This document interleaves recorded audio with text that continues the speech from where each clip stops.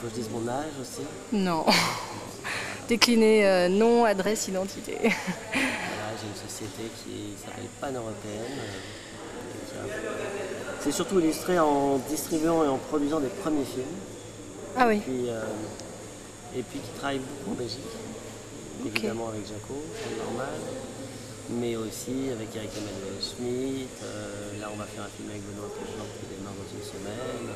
Oui, et le film de- d'Éric Emmanuel Schmitt a été tourné il n'y a pas très longtemps. Oui, et il sort le 9 décembre. Ouais. Oscar à la Dame. J'ai une cousine qui a tourné dedans. C'est un très beau film. très, très beau. Voilà. Mais donc vous parliez tout à l'heure de, de- de- de donner votre âge, euh, mais bon, blague, blague à part, je vous trouve assez jeune pour, une, enfin, pour être à la tête d'une boîte de prod qui est quand même euh, très très très connue. Quoi. Non, je sais pas, je vais avoir 50 ans, donc euh, voilà, je suis, un, je suis un- Ah. un vieux producteur et un jeune metteur en scène. Justement, qu'est-ce qui vous a fait passer euh, le, de, de- de- de la production à la réalisation? Même si vous êtes toujours producteur, j'imagine. Mais, euh, bah, ce qui est vrai, c'est que j'ai jamais eu, euh, j'ai jamais eu l'idée de faire un film. Même j'ai jamais, j'ai jamais même pensé. Et quand j'ai acheté ce livre, c'était vraiment pour le produire. Mhm. Donc, J'ai proposé à plusieurs metteurs en scène.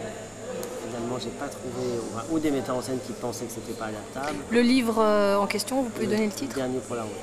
Ça, Vous avez gardé le titre. Ok.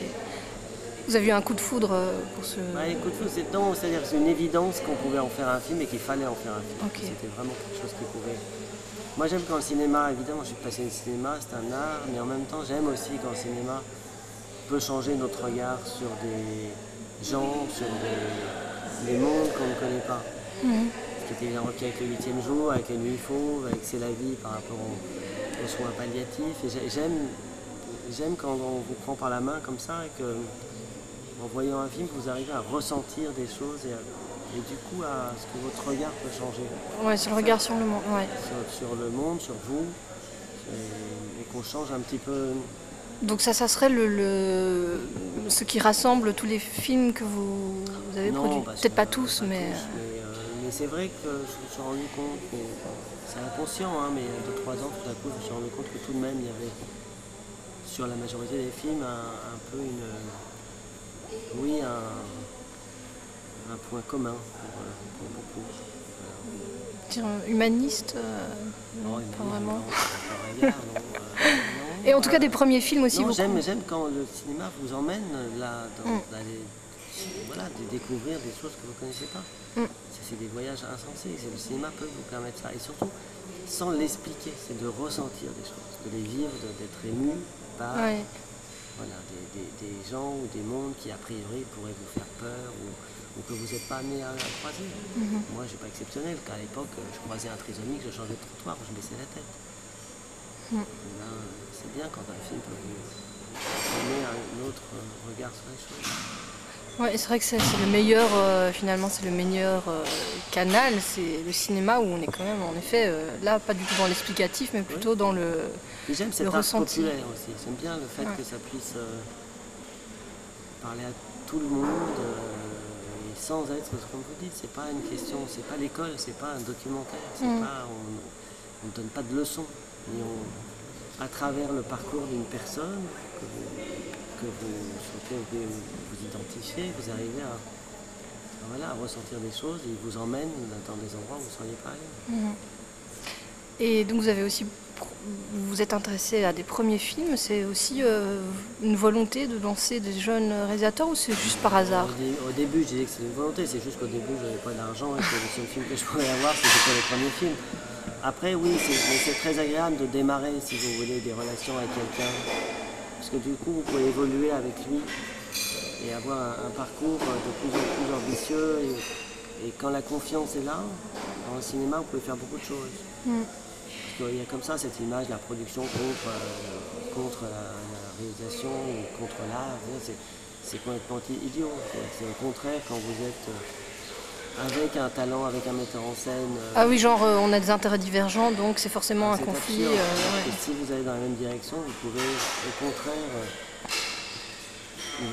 pas vaincre plein de choses, vous pouvez être beaucoup plus ambitieux, vous pouvez prendre des risques, c'est ça Mm. qui est intéressant. Donc c'est vrai quand vous démarrez un parcours avec quelqu'un, ça crée une relation de confiance qui est, qui est forte. Et donc j'ai eu la chance, c'est vrai, de distribuer beaucoup de films voilà, les premiers films de, de Jacques Audiard, de Pascal Ferrand, de Jaco, de, de- de- Et comment vous êtes, euh, vous avez créé cette boîte Vous vous êtes lancé comment? Je veux dire, vous aviez déjà en tête d'être producteur dès le, dès le départ ou- oui. Mais, vous savez, dans le cinéma, il y a deux.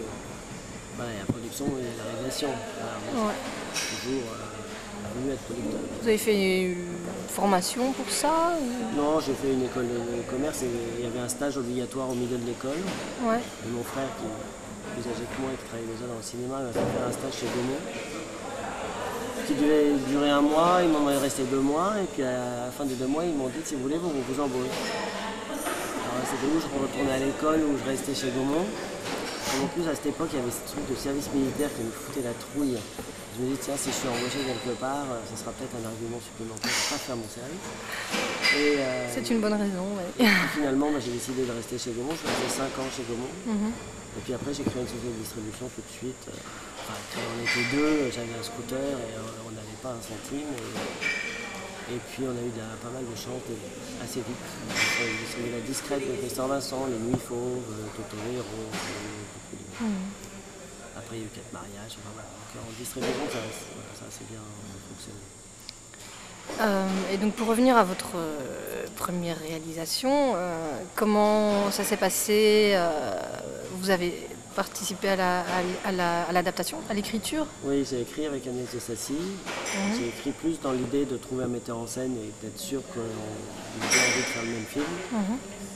Et puis quand je l'ai écrit, euh, je l'ai reproposé à Jaco, euh, enfin je l'ai fait lire à Jaco, euh, qui est mon ami, et,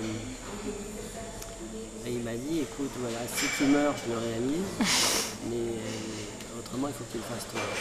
C'est bien, hein, un il vous a poussé. euh, Et donc je lui ai dit, t'es fou, je viens pas de là, et tout ça. Et puis ma compagne m'a dit la même chose, et, et puis après, voilà, l'idée était dans ma tête, je me suis dit, pourquoi pas, mais plus comme un défi. Et puis finalement, j'ai découvert vraiment une. Voilà, je. je- Même aujourd'hui, ça me paraît incroyable, quoi, que- comment j'ai pu. Enfin, donc aujourd'hui, j'ai très envie de faire un autre film, et je me sens très bien avec ça, et, et j'ai pris énormément de plaisir, mais au-delà de ça, je me sens très bien, euh, très bien avec ça, j'ai très envie d'en faire d'autres. Ouais, vous voyez pas ça comme une montagne infranchissable. Non, non. Après, chaque film est différent. Celui-là, c'est très bien passé. Peut-être que le prochain sera plus compliqué. Mais en tout cas, là, non, ça bien Vous avez déjà une idée euh, Oui, j'ai deux idées, mais enfin, c'est un peu tout. On n'en parle pas. ok. Et vous, parlez de, de- vous parliez de votre compagne. Est-ce qu'elle euh, travaille dans votre euh, de production Oui, oui, euh elle produit Largo Winch Ah, ok. et d'autres, euh. Elle est associée Mhm. dans la société. C'est elle qui s'ouvre plutôt aux nouveaux talents aujourd'hui, moi me concentrant sur déjà les gens qui me font confiance depuis quelques années et le fait de réaliser un autre film. Voilà, là, on va produire le film de Jean-Pierre Améris avec. euh, Les émotifs anonymes. Voilà, avec Benoît Poulvort et Isabelle Carré qui démarre la semaine prochaine. On va produire la Rose numéro 2. Donc, ça, c'est plutôt, on a encore même fait Nathalie qui s'en occupe. Et, et donc elle, elle a. bon, c'est pas sous, c'est pas sous le nom de Si, si, Ah, c'est pan-européenne aussi. Et, euh, et moi, donc là, on sort Divorce, qui est la suite, euh, enfin la continuation de Mariage, Valérie Labaudet. Après, on sort euh, Oscar et Anne Rose au mois de décembre. Et au mois de janvier, on sort Mister Nobody et Jacob. Ok. Et c'est un lourd programme. Et là, en plus, j'imagine que vous allez euh, être invité dans plusieurs festivals? Je crois, oui, qu'il y a deux, trois. Mais c'est agréable, ça, des vacances. Hein. C'est des vacances, ouais. Ah oui, bon, c'est agréable de partager un film avec agréable. Vous restez combien de temps ici à Namur? Là, je repars. Oui, donc c'est des courtes vacances. Oui, mais c'est très agréable. C'est pas ça le problème. Ok. Là, c'était le- la première projection à Namur? Oui, c'est ce soir. Je crois que C'est c'est ce soir. première. Ok. C'est- Je crois que c'est la première. Vous n'êtes pas sûr? Bah, il y en a peut-être une avant, mais je crois pas. En tout cas, on m'a demandé d'assister à celle-là. Ah oui, vous voulez dire. euh, Mais c'est la première, euh, je veux dire, c'est à Namur que c'est la première. Oui. Ok. Bon, ben, espérons que la salle sera pleine. En général, euh, il y a beaucoup de public. hein. Il y a un très bon public. Oui, en Belgique, il y a un très bon public. Très bon journaliste, très bon. C'est vrai. Oui, vous avez beaucoup de. beaucoup d'avant-premières et beaucoup de projections ici. c'est Et puis vous avez beaucoup de liens euh, avec des réalisateurs belges. euh. Eric Emmanuel Schmidt qui vient tout à l'heure voir mon film. et Ah oui, Je travaille beaucoup en Belgique. ok. Bon, ben bonne continuation. Merci. Merci.